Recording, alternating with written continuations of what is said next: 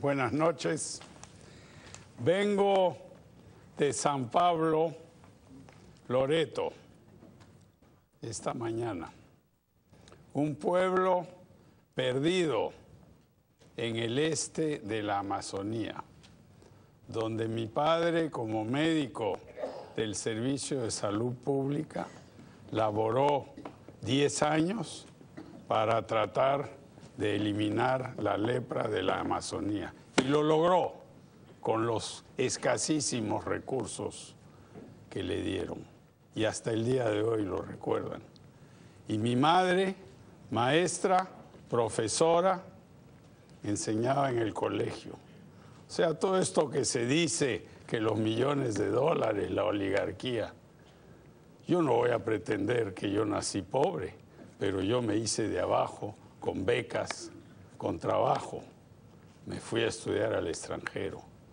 Y lo que me anima es un país mejor, porque yo he viajado por el Perú, he trabajado en diversos gobiernos, todos democráticos, y he visto cómo perdíamos oportunidades. Hemos perdido muchas oportunidades y no podemos perder más porque tenemos hoy dos fenómenos. Uno, la juventud y la mujer peruana que entran a trabajar. Y eso nos da un tremendo impulso, un tremendo impulso económico. Y lo otro es lo que está pasando en la economía mundial de Asia, que está demandando cosas que nunca soñamos que íbamos a vender a esos precios. Entonces, con esos recursos debemos industrializarnos, debemos progresar, debemos enfatizar la educación, porque ¿qué va a pasar en 20, 30 años si no invertimos esos recursos bien?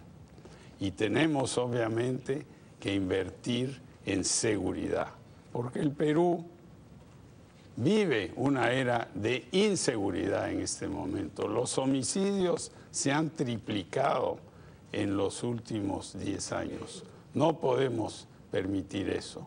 Entonces a mí no me anima el poder, no me animan los honores, no me anima Palacio. Lo único que me anima es para trabajar juntos para sacar este gran país adelante. Gracias.